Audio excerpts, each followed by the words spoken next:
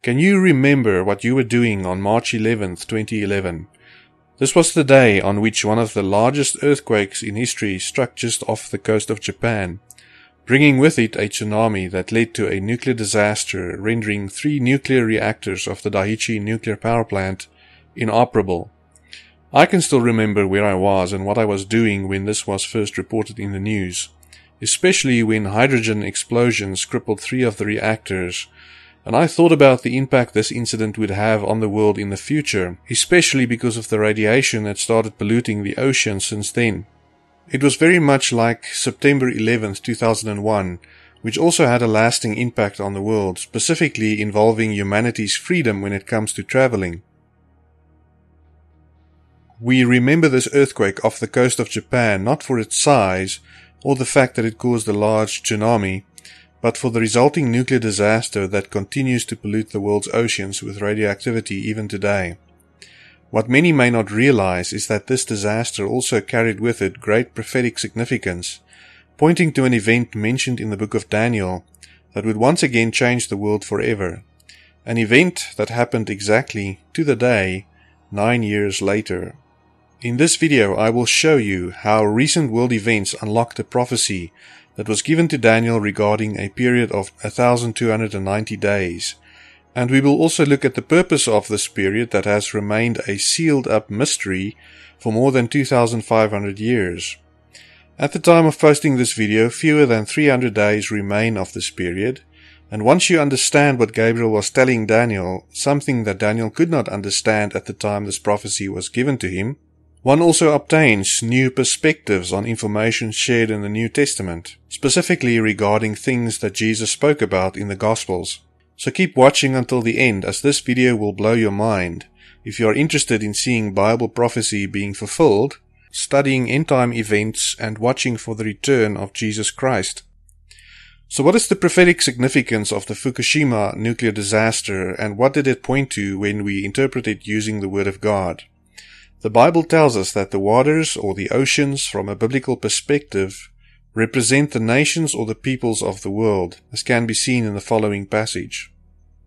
And he saith unto me, The waters which thou sawest, where the whore sitteth, are peoples and multitudes, and nations and tongues. Now if the oceans of the world are representative of the nations, what will the release of radiation into the oceans represent? And what becomes of the life that existed in those waters? Radiation will cause corruption. It will cause illnesses and tumors in organisms. And finally, it will cause the oceans to become desolate or empty. And over the past decade, we have seen the effects that radioactivity has had on marine life in the Pacific. Although media and science do everything in their power to deny these facts, or to shift the blame to something other than the truth, much like specific topics that affect the nations of the world today that are not allowed to be mentioned or discussed on social media.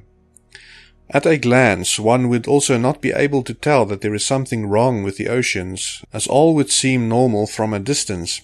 But when one begins to look closer at the life in those waters, one may realize that what used to be a habitat in which all kinds of marine life thrived has slowly been turning into a graveyard. The emptiness that is brought about in habitats through the release of radiation would also seem to be related to a prophecy from the book of Daniel and referred to by Jesus in the Gospels.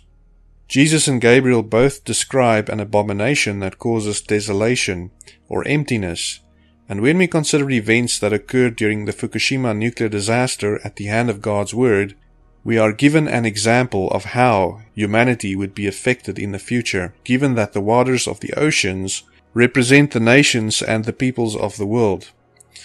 God's Word also provides us with historic evidence for a similar event that occurred during the days of Noah, in which a flood was also involved and which Jesus also mentions in Matthew 24. That as the days of Noah were, so shall also the coming of the Son of Man be. For as in the days that were before the flood, they were eating and drinking, marrying and giving in marriage, until the day that Noe entered into the ark, and knew not until the flood came and took them all away, so shall also the coming of the Son of Man be. And God looked upon the earth, and behold, it was corrupt, and all flesh had corrupted his way upon the earth. And God said unto Noah, The end of all flesh is come before me, for the earth is filled with violence through them, and behold, I will destroy them with the earth. In Noah's days there was a corruption of humanity's flesh on the earth, brought about by the fallen angels, and only Noah and his family remained perfect in their generation meaning that they were the only people whose DNA were not corrupted. God saved them through the flood to repopulate the world. This corruption of human flesh was an abomination in the eyes of God, and caused the world to become empty. It was also the first instance in which an abomination that causes desolation is spoken of in the Word of God, giving us a reference model for future instances. If we consider the Fukushima nuclear disaster from a biblical perspective, the prophetic message once again points to the corruption of all flesh on the earth, which at the hand of this nuclear disaster we understand to be permanent and irreversible. The Japanese authorities have tried to put measures in place to limit or restrain this process through which contaminated water enter the Pacific Ocean. By collecting as much of this contaminated groundwater into storage tanks as possible, but they are now planning to release this water into the Pacific in the spring of 2023. Even though this will have a massive impact on the world, this does not really seem to be thought of as newsworthy as one has to search out information on the subject, as news about this does not make it to the main media streams. According to this article dated November 19th of 2022, the International Atomic Energy Agency stated that it is Japan's decision on whether to go ahead with the release of the stored radioactive water into the Pacific Ocean or not when spring of 2023 arrives. Although Japan has done all it can to remove radioactive particles from the stored wastewater, there are certain radioactive particles such as tritium that cannot be removed, and this will impact the oceans, marine life, and eventually every living organism in this world for millennia to come, if this world was left to continue for that long. However, we know that God's word shows us that He plans to do away with this earth and to create new heavens and a new earth that will last forever. And is it not interesting that the new earth will not have any oceans? And I saw a new heaven and a new earth. For the first heaven and the first earth were passed away, and there was no more sea.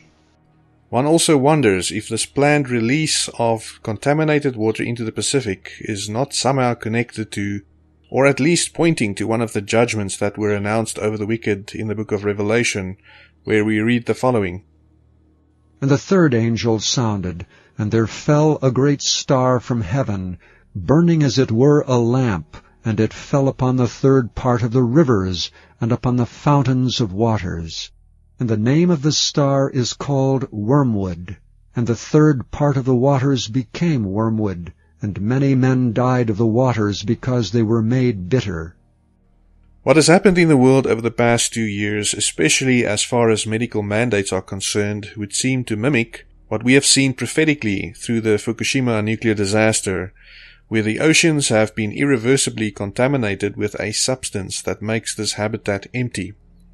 The same has been happening to human flesh in people who have rolled up their sleeves and who have allowed DNA altering substances to enter their flesh. I think by now, most who have been watching my videos will know about the hybridization qualities of the substances contained in the vials that many have accepted into their bodies.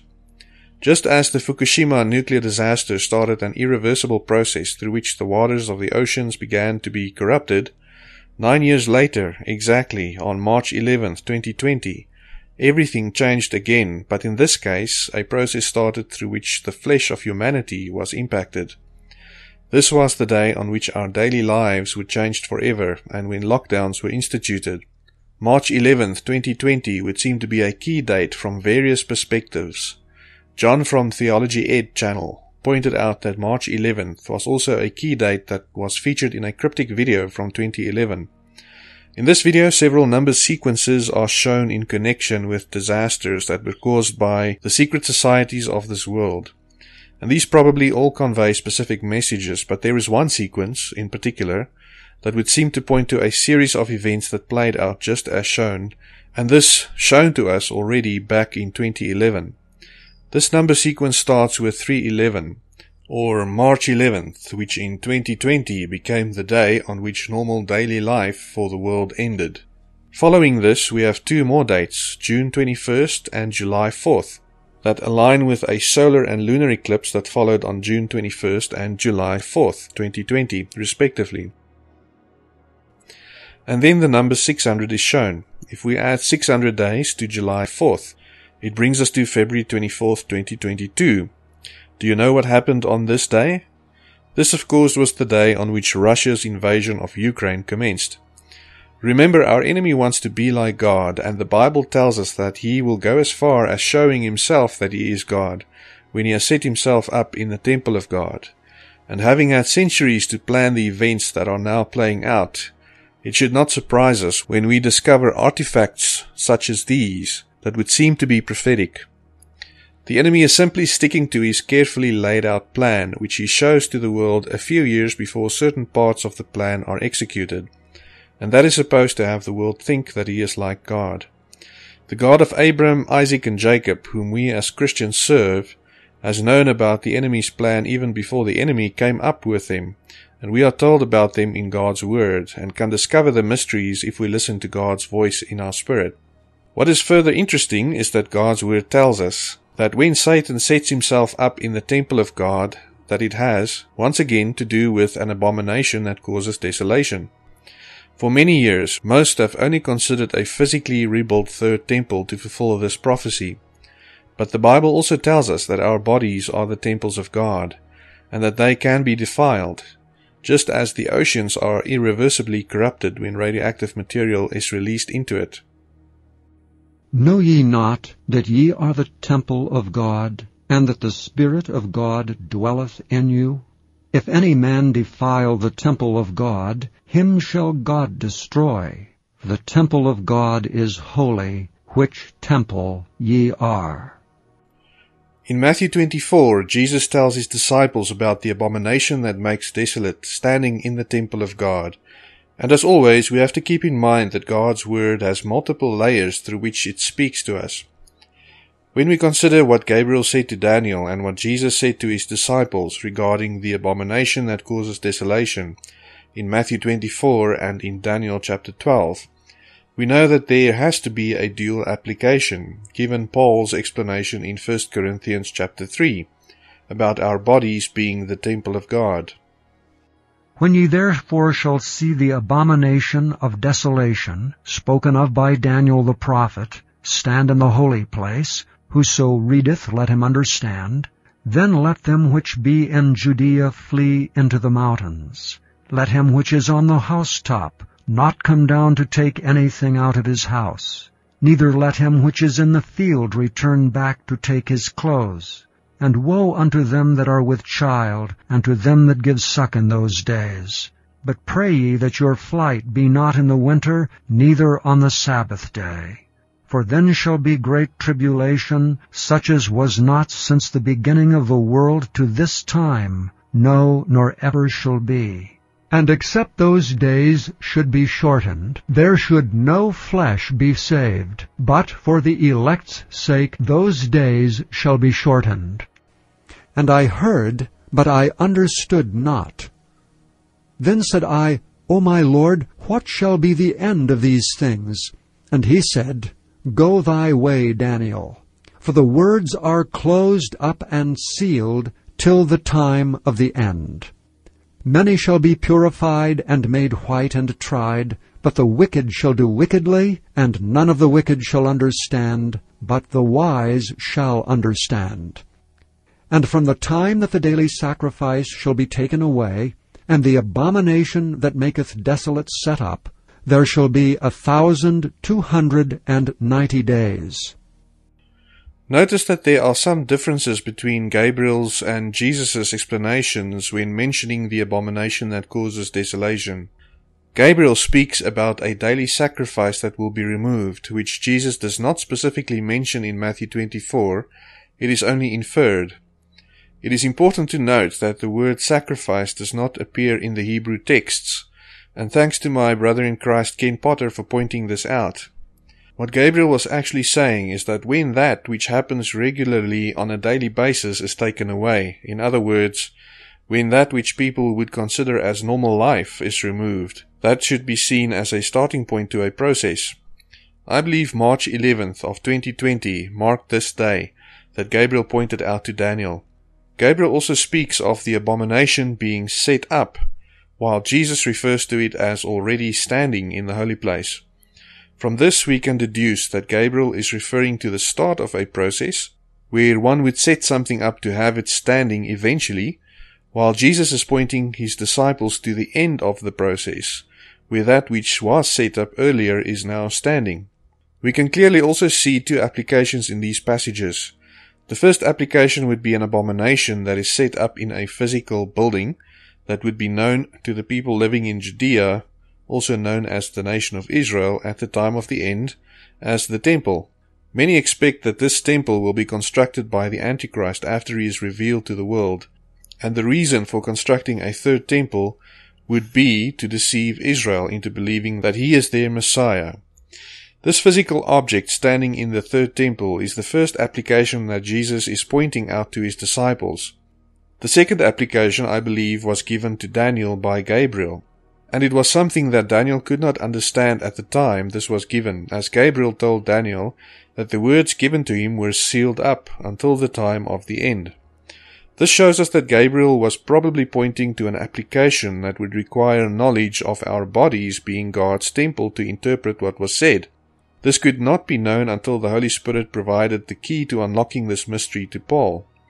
Having 2020 hindsight and knowing about the effects that the substances that were introduced into billions of bodies over the past two years have had on those bodies, and seeing how a nuclear disaster prophetically pointed in great detail to the events that have played out over the past two years, even providing us with a very accurate start date for this process, not to mention the enemy also pointing to the same date on which all of this started through predictive programming, I believe there is substantial evidence to show that Paul's version of God's temple being corrupted is now well underway, and for the first time we can understand what Gabriel was telling Daniel regarding the abomination of desolation as it relates to human bodies.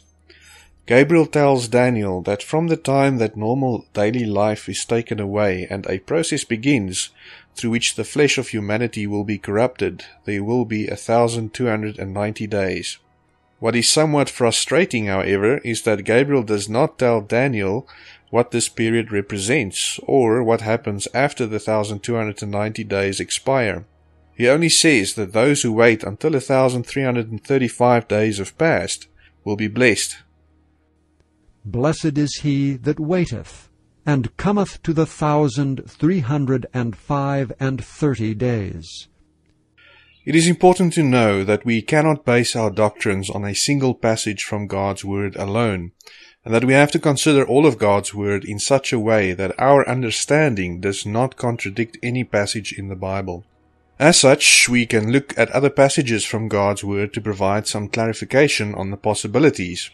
If March 11, 2020 marks the start of 1290 days, what does this period represent and what happens after it expires?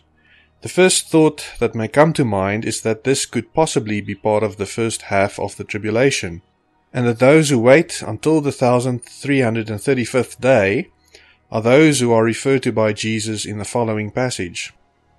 But he that shall endure unto the end, the same shall be saved.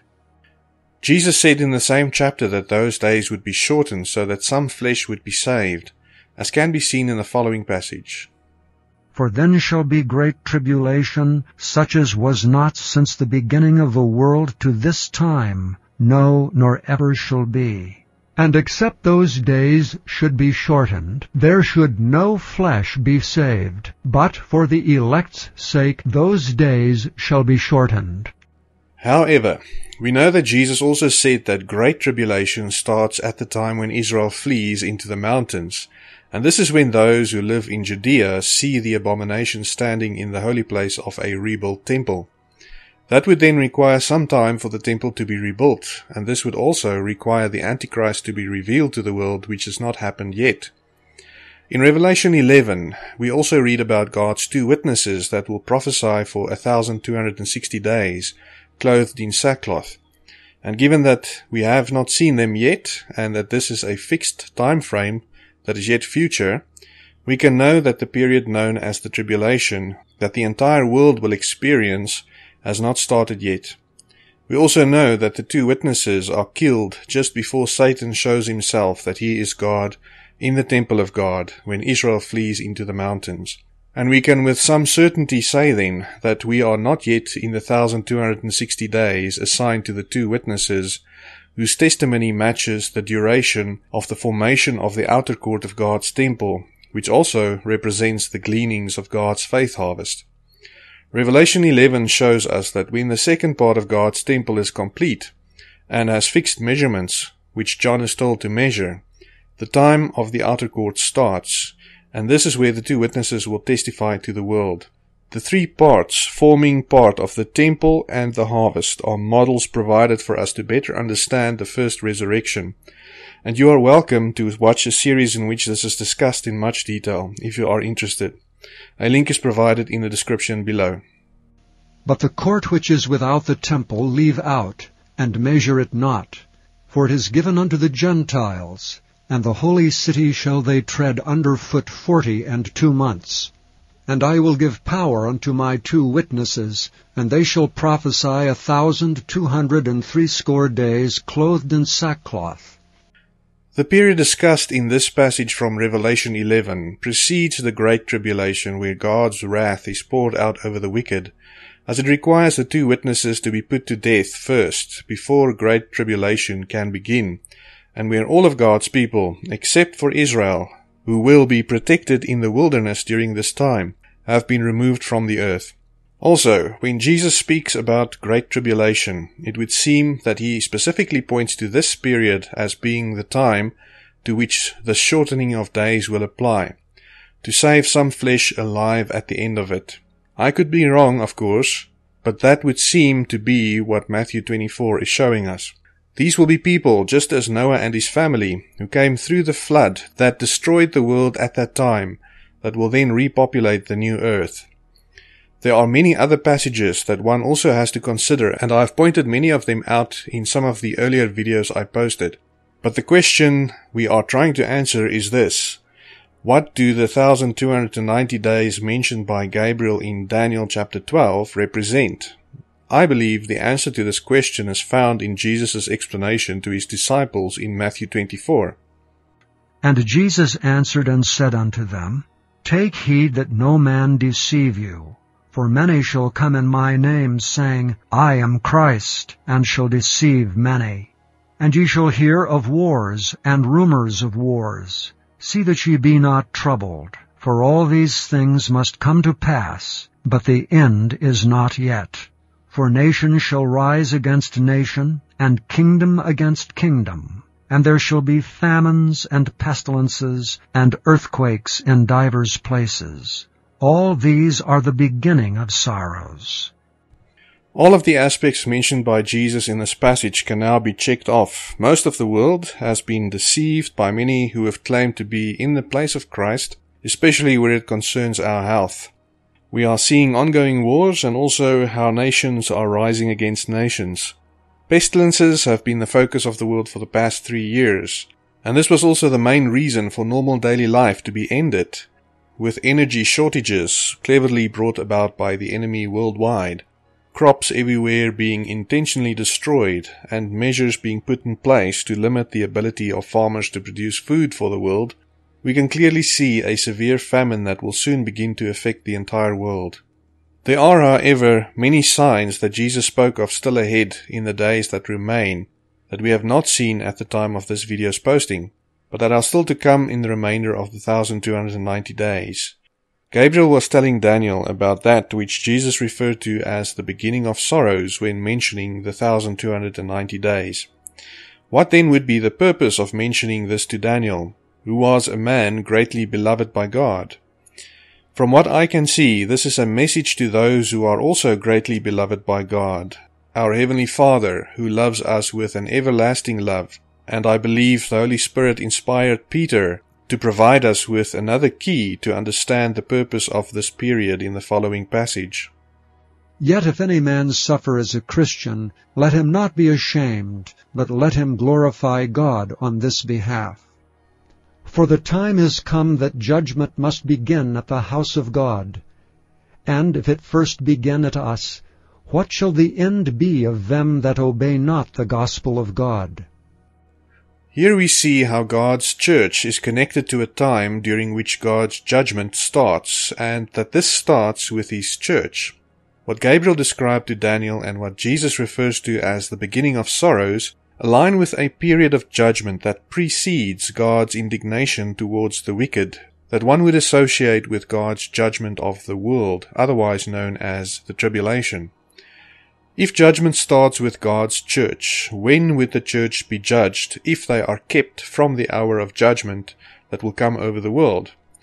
Please consider the following three passages that show us how God will remove those that he loves from experiencing any of his wrath. For God hath not appointed us to wrath, but to obtain salvation by our Lord Jesus Christ, who died for us, that whether we wake or sleep, we should live together with him. Because thou hast kept the word of my patience, I also will keep thee from the hour of temptation, which shall come upon all the world, to try them that dwell upon the earth. Come, my people, enter thou into thy chambers, and shut thy doors about thee. Hide thyself as it were for a little moment, until the indignation be overpast. For behold, the Lord cometh out of his place to punish the inhabitants of the earth for their iniquity. The earth also shall disclose her blood, and shall no more cover her slain. The beginning of sorrows would then seem to be a time of testing for God's church before our Heavenly Father's judgment over the world begins.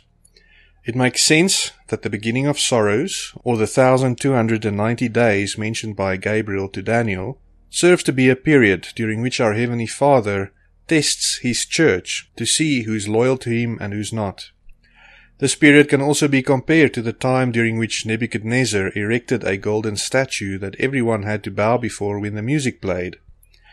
For those who bowed before the statue, life continued as normal.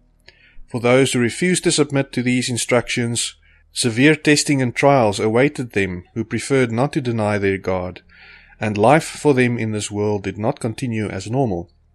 For those who stayed true to God during the past three years, who did not allow the enemy to deceive them, and who refused to bow to the mandates that the rulers of this world imposed on nations, life in this world has certainly been accompanied by persecution and hardships, and many have lost their livelihoods, had to face uncertainties, and deal with issues that could have been avoided if they simply rolled up their sleeves to accept the substances that change a person's DNA.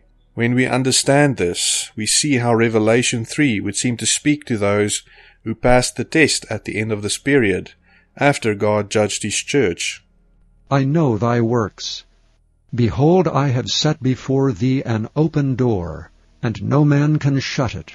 For thou hast a little strength, and hast kept my word, and hast not denied my name. Behold, I will make them of the synagogue of Satan, which say they are Jews and are not, but do lie, Behold, I will make them to come and worship before thy feet, and to know that I have loved thee. Because thou hast kept the word of my patience, I also will keep thee from the hour of temptation, which shall come upon all the world, to try them that dwell upon the earth. Behold, I come quickly. Hold that fast which thou hast, that no man take thy crown. Those who have passed the test have only a little strength that remains, showing us that it was quite a battle for them. But they have kept God's word and have refused to deny his name by trusting what the word of God says with regards to our bodies and our health, rather than trusting the so-called experts. We also obtain a new perspective on Jesus' description of his arrival on clouds in Matthew 24, when we know that he is now speaking to those that are greatly beloved by him who has endured a time of testing as part of his church, similar to that of Daniel's three friends who would rather endure the flames of a furnace than to deny their God. Immediately after the tribulation of those days shall the sun be darkened, and the moon shall not give her light, and the stars shall fall from heaven, and the powers of the heavens shall be shaken. And then shall appear the sign of the Son of Man in heaven. And then shall all the tribes of the earth mourn, and they shall see the Son of Man coming in the clouds of heaven with power and great glory. And he shall send his angels with a great sound of a trumpet, and they shall gather together his elect from the four winds, from one end of heaven to the other. Many who do not believe in a pre-tribulation rapture love to use this passage to prove that a pre-tribulation rapture does not exist. Because Jesus states here that immediately after the tribulation of those days, the events associated with the rapture will occur, implying that this has to occur after our Heavenly Father judges the world. However, when we know that Jesus may be speaking to those who are part of His church in this passage, who are being judged during the period that he refers to as the beginning of sorrows, it makes perfect sense that those who are being judged during this time would experience tribulation when they go through the beginning of sorrows, and that this does not negate a pre-tribulation for the world rapture. Also, the description that Jesus gives in Matthew 24 of coming with clouds, this being associated with the great sound of a trumpet, and his angels being sent out to the four corners of the earth to gather his elect, is associated with the passage in Revelation 14, where Jesus gathers in his harvest at the start of the tribulation, that the world and the unbelievers will experience, and Paul and Isaiah also describe the same event. And I looked, and behold a white cloud, and upon the cloud one sat like unto the Son of Man, having on his head a golden crown, and in his hand a sharp sickle. And another angel came out of the temple, crying with a loud voice to him that sat on the cloud, Thrust in thy sickle and reap, for the time is come for thee to reap, for the harvest of the earth is ripe. And he that sat on the cloud thrust in his sickle on the earth, and the earth was reaped. Thy dead men shall live, together with my dead body shall they arise. Awake and sing, ye that dwell in dust. For the dew is as the dew of herbs, and the earth shall cast out the dead. Come, my people, enter thou into thy chambers, and shut thy doors about thee. Hide thyself as it were for a little moment, until the indignation be overpast. For behold, the Lord cometh out of his place to punish the inhabitants of the earth for their iniquity. The earth also shall disclose her blood, and shall no more cover her slain.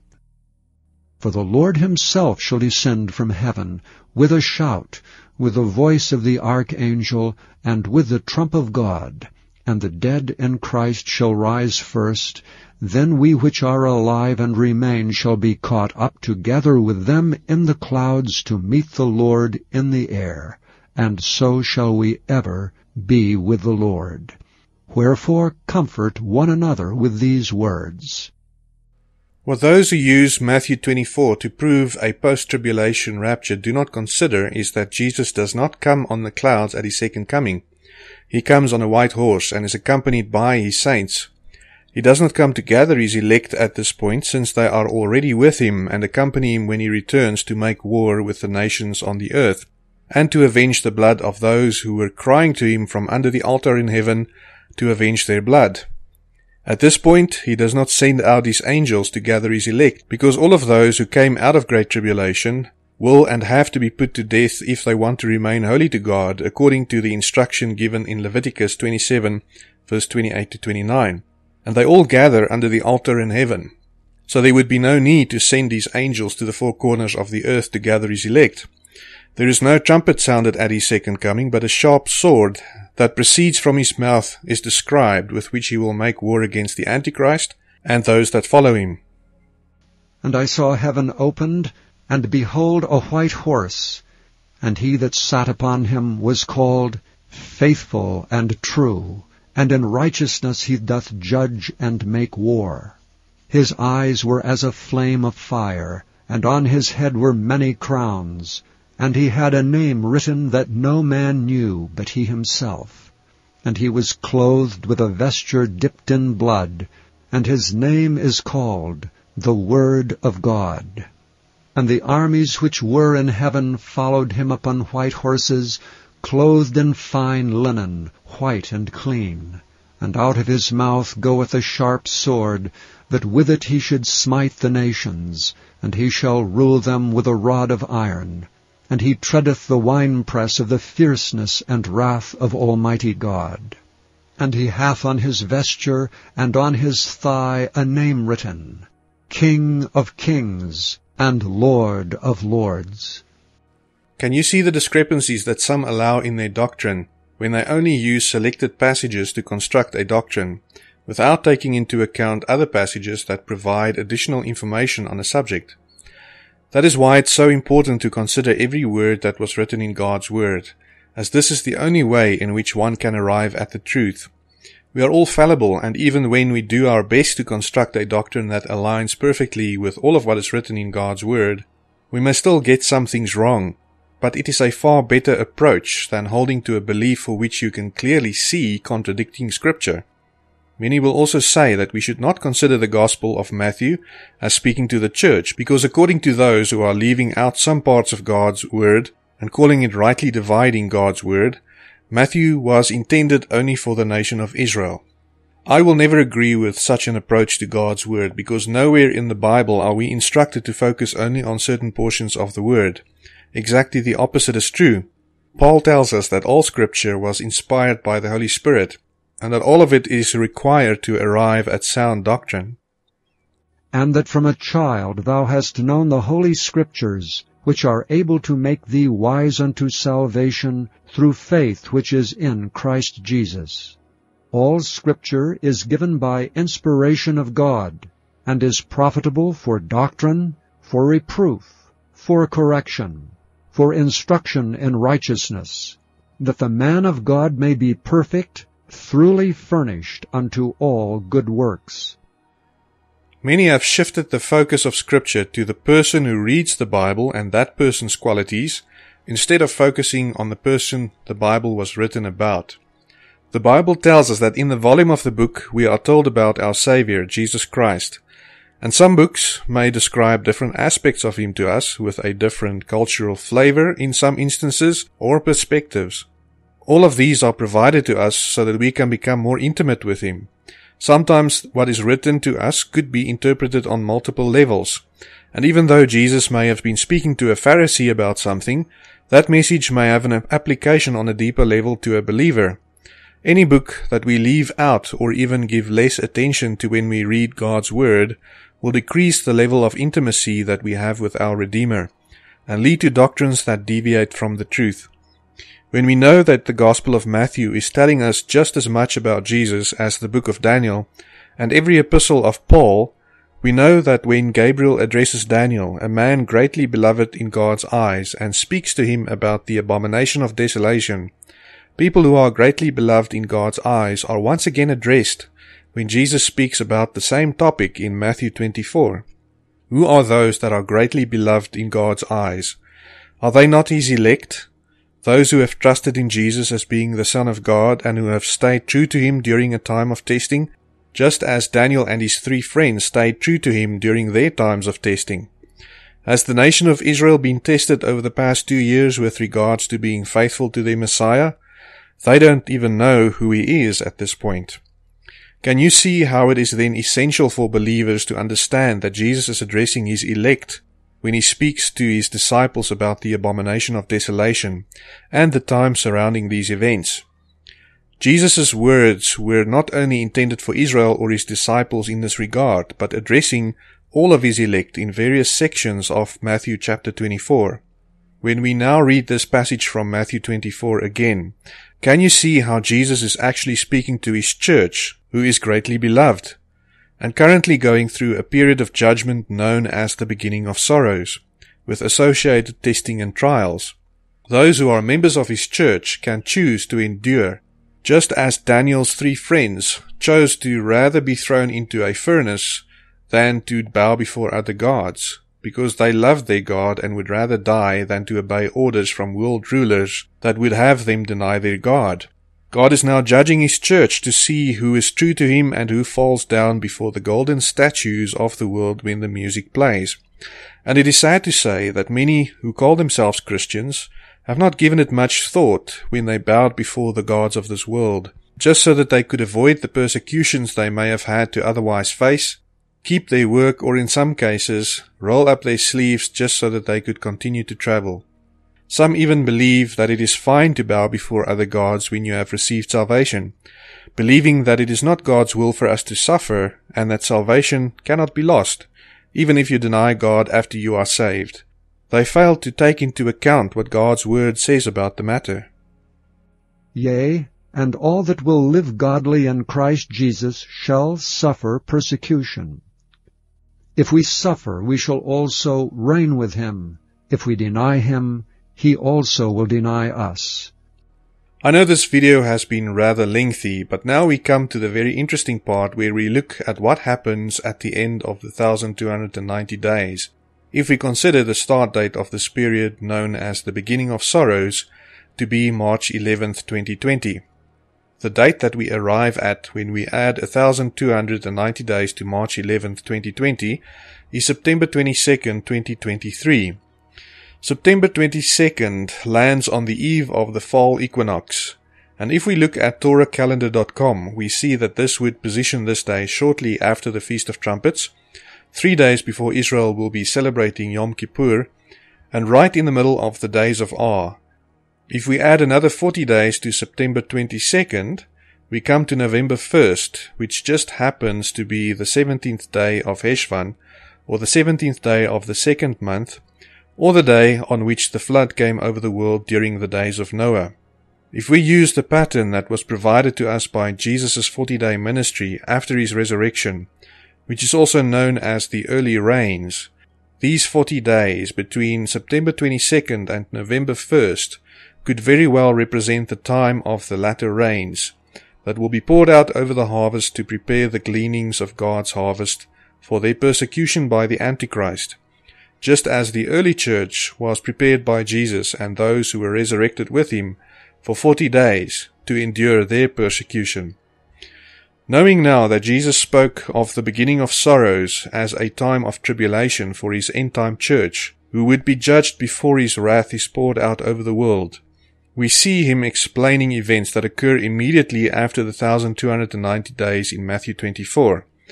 If 2023 is indeed the year, then the events that he describes would seem to fit in perfectly with what will actually play out. Please consider what Jesus said in the following passage. Immediately after the tribulation of those days shall the sun be darkened, and the moon shall not give her light, and the stars shall fall from heaven, and the powers of the heavens shall be shaken. And then shall appear the sign of the Son of Man in heaven. And then shall all the tribes of the earth mourn, and they shall see the Son of Man coming in the clouds of heaven with power and great glory. And he shall send his angels with a great sound of a trumpet, and they shall gather together his elect from the four winds, from one end of heaven to the other. Jesus says that immediately after the tribulation of those days, days of testing during which his end time church will suffer, the sun will be darkened and the moon will not give her light. We just happened to see two eclipses directly following the end of this period, with a solar eclipse on October 14th and a lunar eclipse on October 28th, just before a possible repeat of Noah's time frame that could again start on the 17th day of Heshvan or November 1st of 2023. Our enemy also has his eye on October 31st, which in 2023 would be the day before the 17th day of Heshvan. And this has been shown to us in this image that appeared on the cover of The Economist magazine in 2016, where the date on which Martin Luther pinned his 95 Theses to the Roman Catholic Church door is incorporated into this image, where we see a tower destroyed by lightning and ten flames rising from the destroyed tower. The same imagery is once again displayed in the iPet Goat 2 animation, where a building that would seem to represent a mosque in Kiev is destroyed, and where ten black birds then rise from it.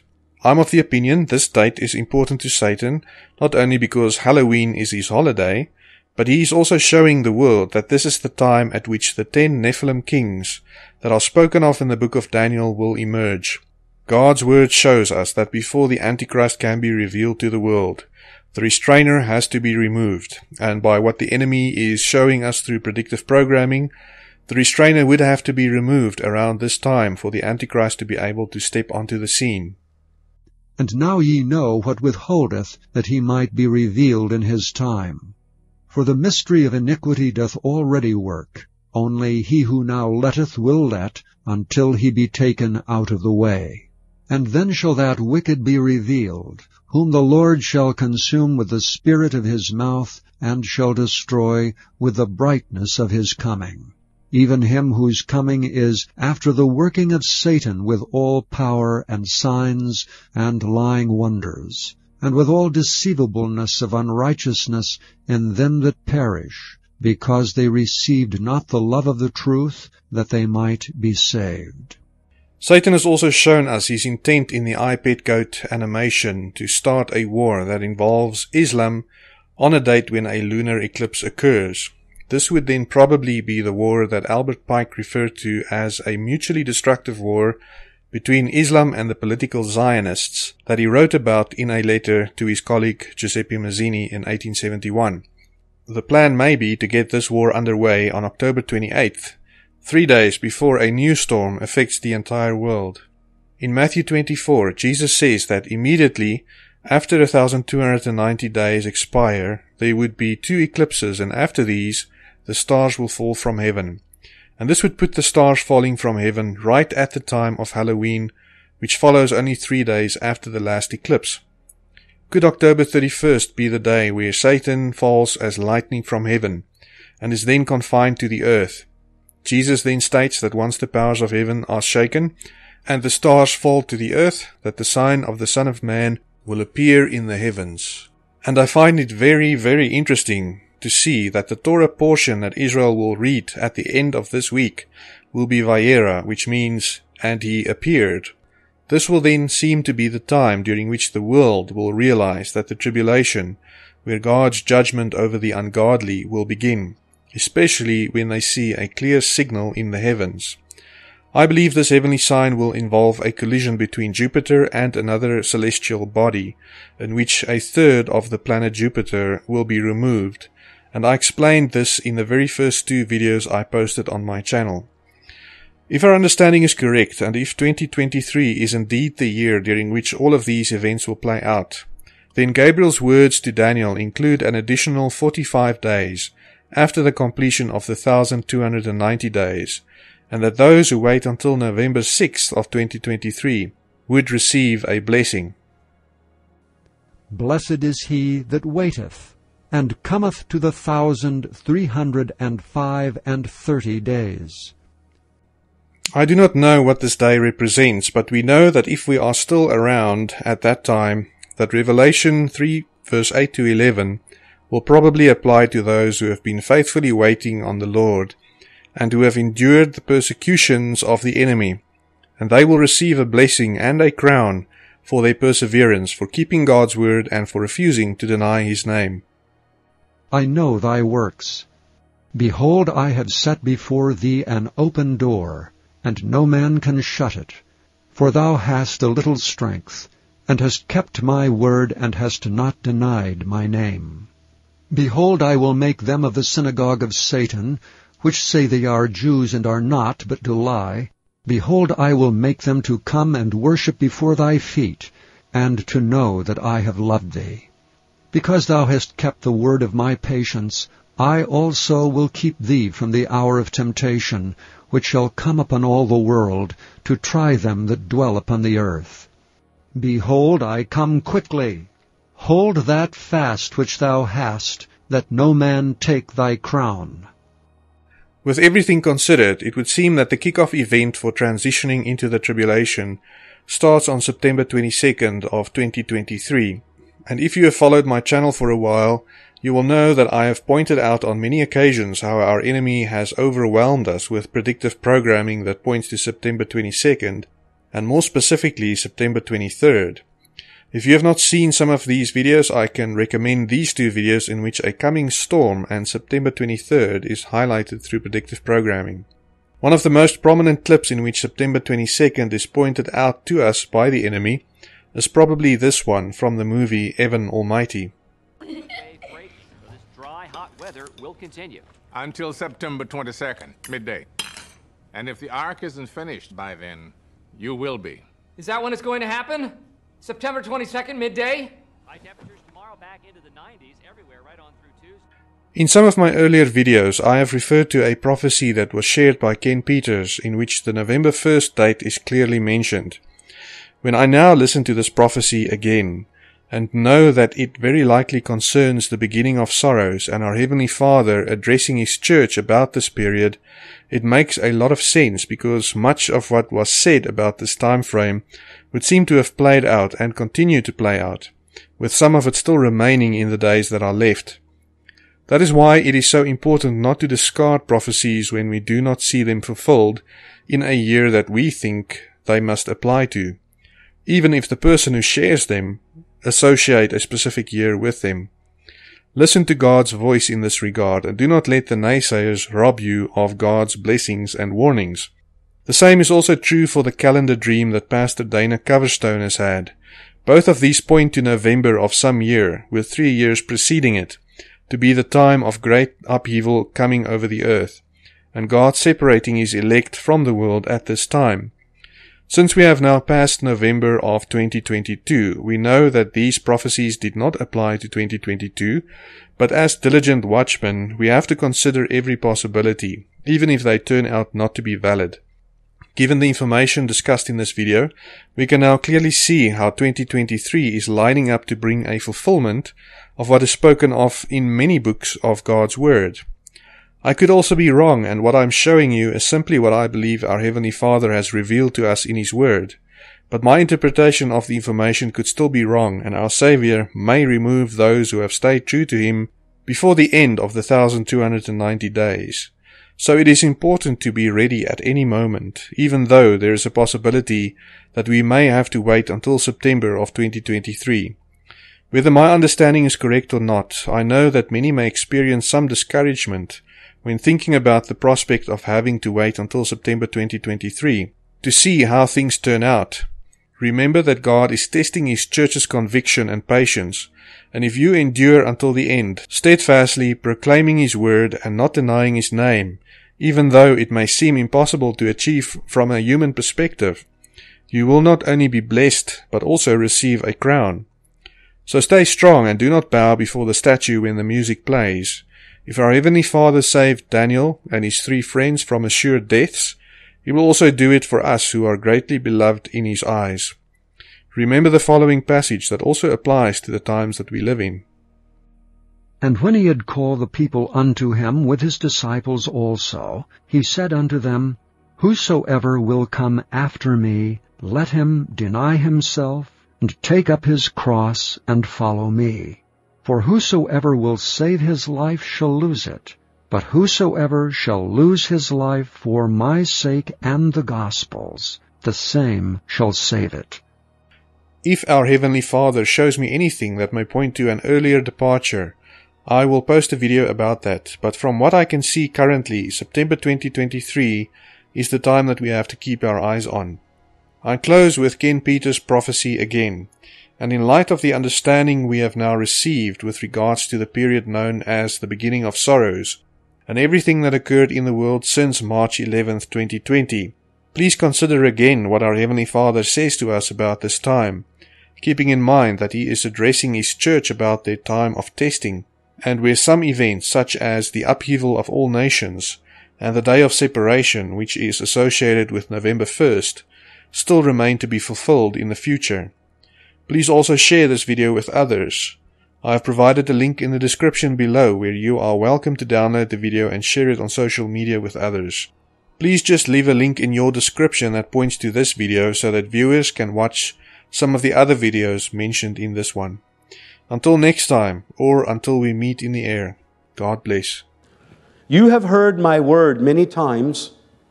You have heard my scriptures speak to your hearts. And yet you have heard this one over and over. But I say to you today, it shall be alive in your hearing. For I, the Lord, will send you help from the sanctuary.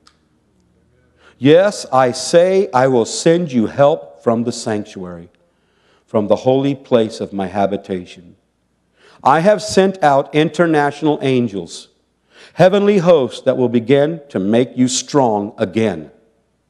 For my people and my church, those of a remnant, have been in a severe testing and trial. For I have been preparing them for eternal things to come. And many would say, Lord, why? Why? Why?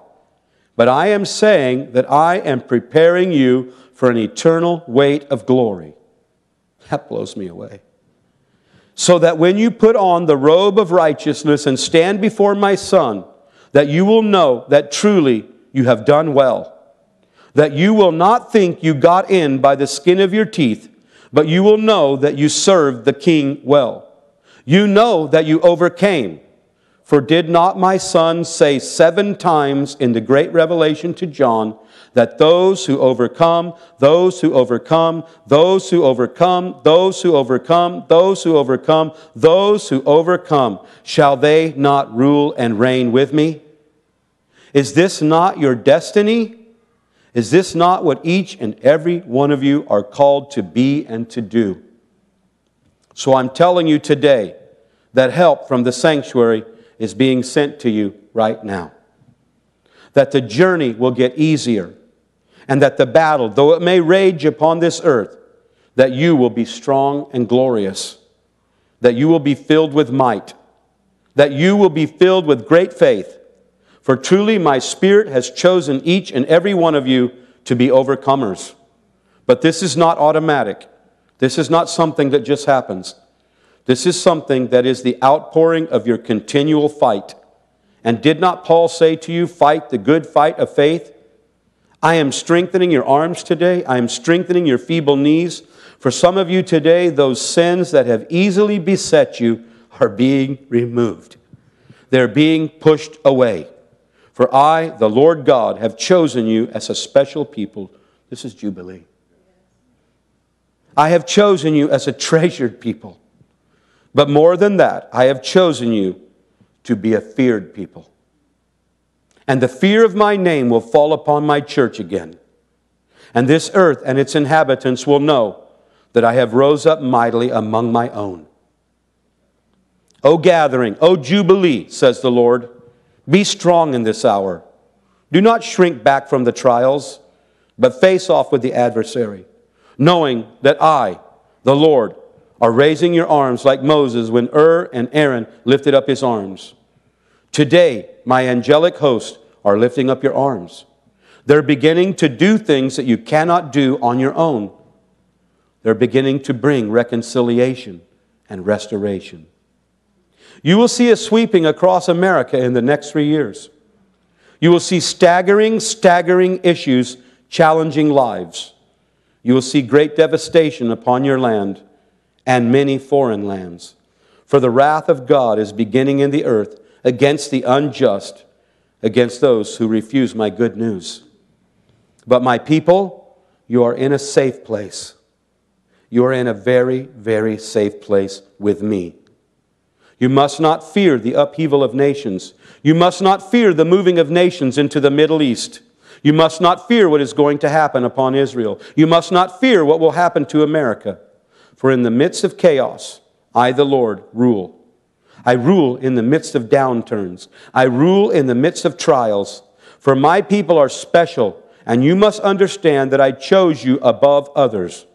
That when you responded to my son's atonement, that I made a special compact with you, a covenant that cannot be broken. This is not your hour of defeat, but this is your hour to rise up and be strong. Like a great shipmast in the midst of a terrible storm, shall you be unwavered and unmoving.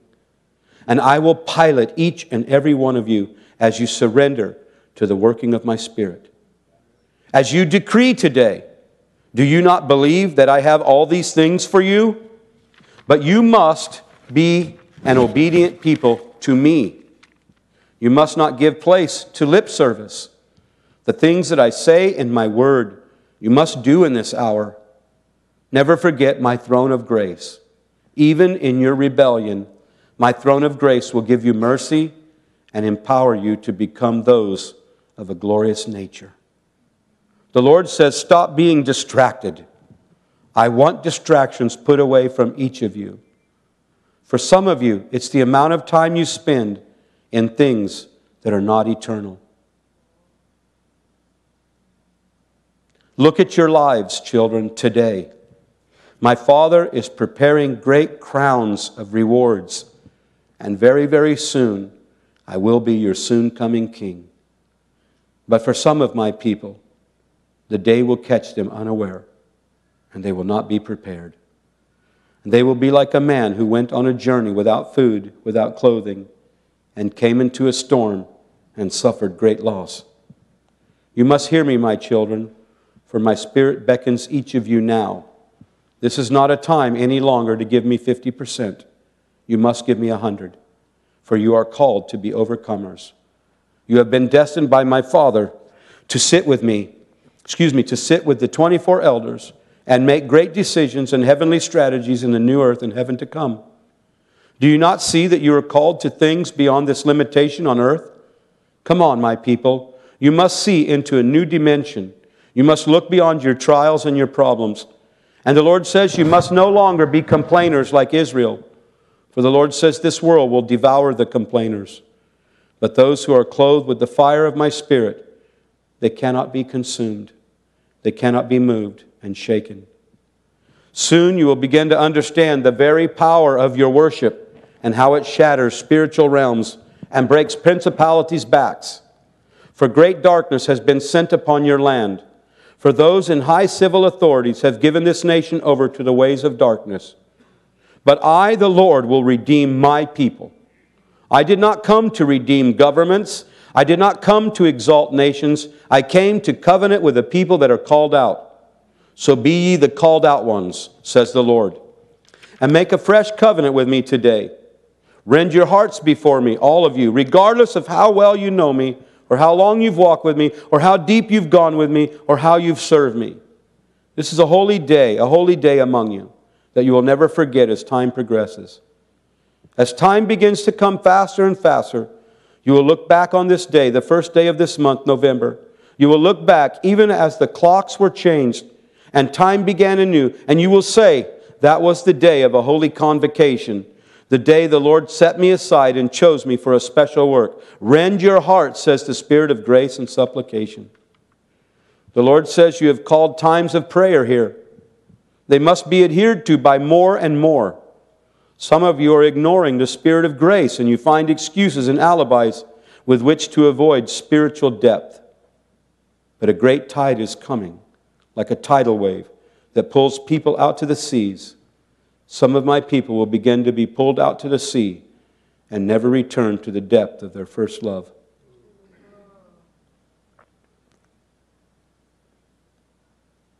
Do not ignore the beckoning of my spirit this day.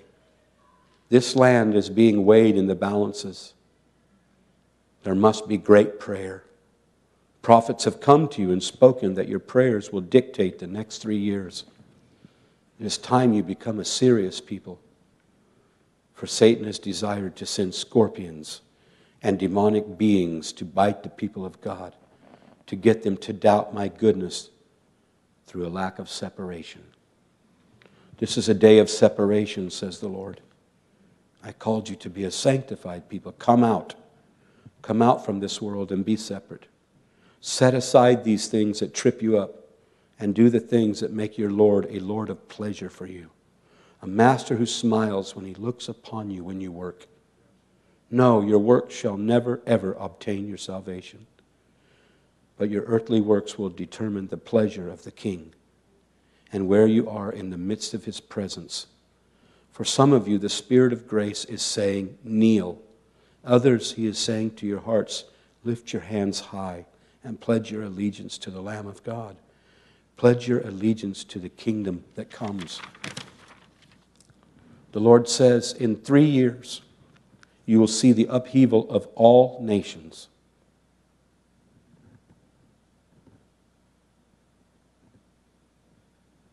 I'm either the biggest false prophet that ever lived, or I'm the stupidest prophet to ever say that. The upheaval of all nation, all nations in three years. If you've studied end time Bible prophecies, you know exactly what that's pointing to. It has to be the return of Christ.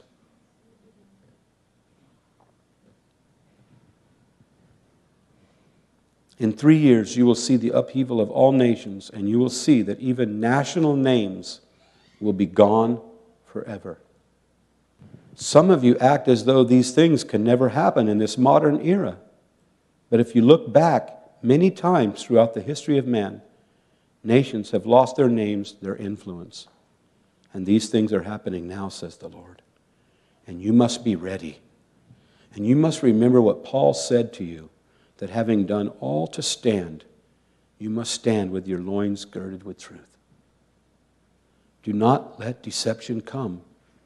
Do not buy into lies. Remember what my son said before he departed this earth to sit at the right hand of my glory.